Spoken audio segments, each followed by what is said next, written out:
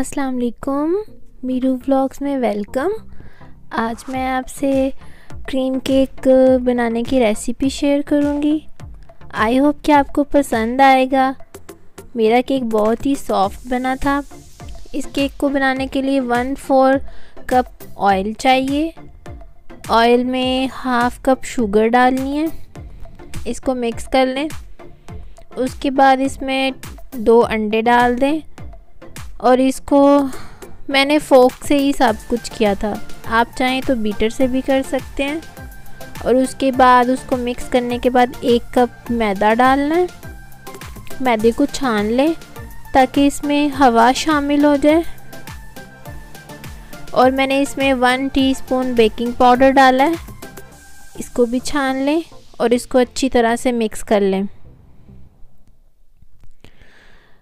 सारे बैटर को ये मैंने मिक्स कर लिया है। अब इसके बाद इसमें हाफ़ कप से थोड़ा सा कम गर्म पानी, जिसमें से धुआँ निकल रहा हो, ऐसा पानी आपने डालना है। वो डालकर इसको मिक्स कर लें।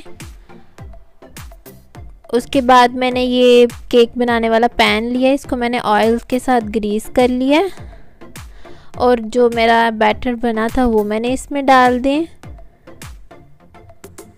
और इसको टैप कर लें ताकि इसमें हवा जो है वो निकल जाए।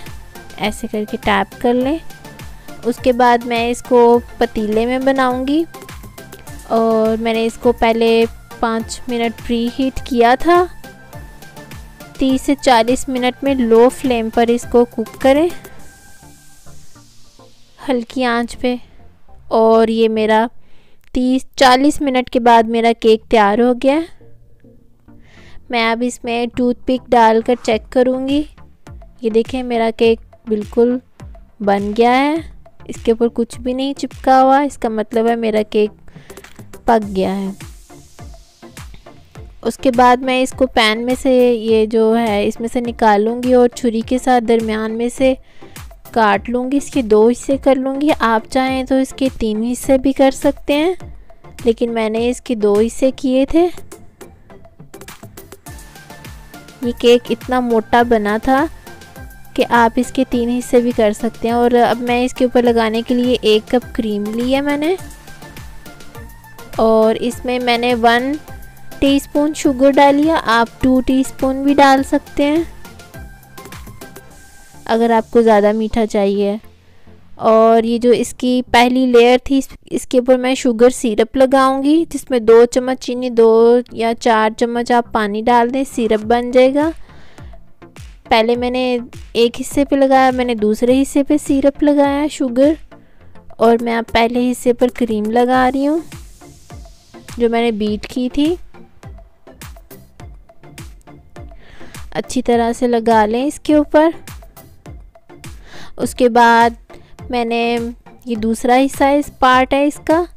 अब मैं इसके ऊपर क्रीम लगाऊँगी। और इसके जो किनारे हैं, उनके ऊपर भी लगा लें।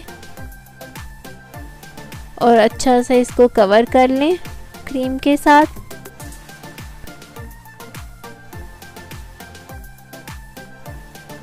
आई होप कि आपको मेरी रेसिपी पसंद आएगी और इसको ज़रूर ट्राई करें। ये केक डेकोरेट करने वाली मेरे पास एक ट्यूब है। उसके साथ मैं ये फ्लावर्स बनाऊँगी क्रीम के। मैंने क्रीम इसमें डाल ली है। ये फ्लावर्स मैं बना रही हूँ।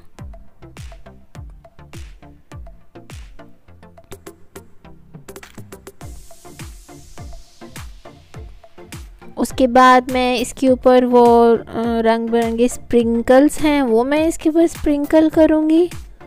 और मेरा केक बहुत अच्छा सा डेकोरेट हो जाएगा। आप इस रेसिपी को ज़रूर ट्राई कीजिएगा। जैसे जैसे मैंने आपको स्टेप बाय स्टेप बताया है। और मेरे चैनल को ज़रूर शेयर करें सब्सक्राइब करें। सब्सक्राइब करना बिल्कुल फ्री है। ओके इसके साथ ही अल्लाह हाफिज़।